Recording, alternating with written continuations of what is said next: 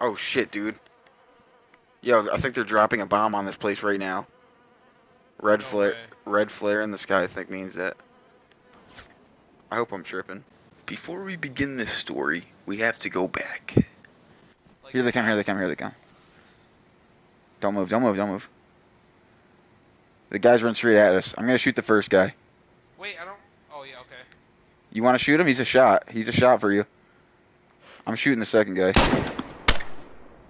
Second guy's down. Wait a second. Hold up. This isn't the beginning of the story. Editor, come on. Good shot. True beginnings to a warrior story. Off the coast.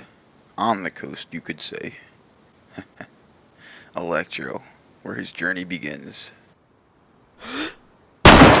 Wait, we made a mistake. This was not his true beginnings. Let's do this one more time. Uh, His true beginnings. Volca.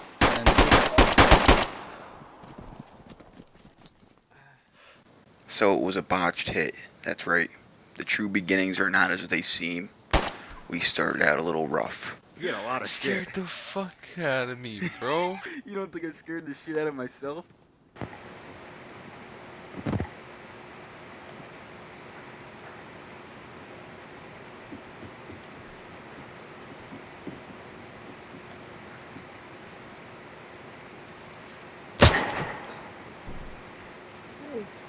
Stay down, stay down.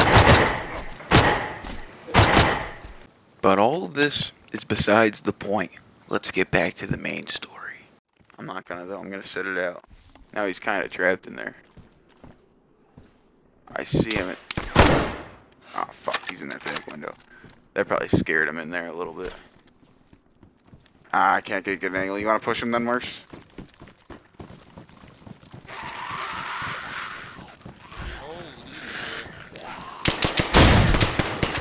I got him.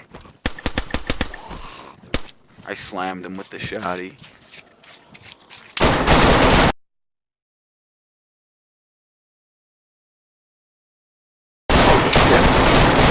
Where? Dude spawned in.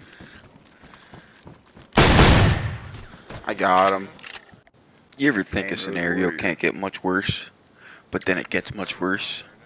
Yeah. Oh god, it's getting nuked! Marsh Jr. He lived in Kamiwoba with Marsh Sr. Things went for the worse, though. I sent him the message via radio. I gave him my last beer to enjoy. Can they can't believe they did a young man like that. His response? Nothing. A cold-hearted killer came north just to kill Don't stand in still. vengeance. Oh shit, guy down So the that's exactly what we did. Two guys, two guys. And when we did get to combat, Marsh Jr. was just as it, eager, if not more, to kill. I don't think they're shooting at us actually. Oh, they're moving out of town. Behind the houses over there. They can't be gone too far. There they are, behind that house out there, way out there. Come on. Oh shit. Drop over your here. worst mistakes in the comment section below. There's a guy opening his fucking base, and I didn't see him or hear him.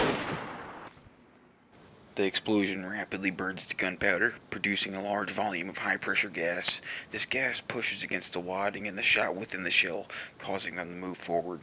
The wadding acts as a buffer between the shot and the barrel, ensuring that the shot doesn't get damaged or deformed as it travels down the barrel.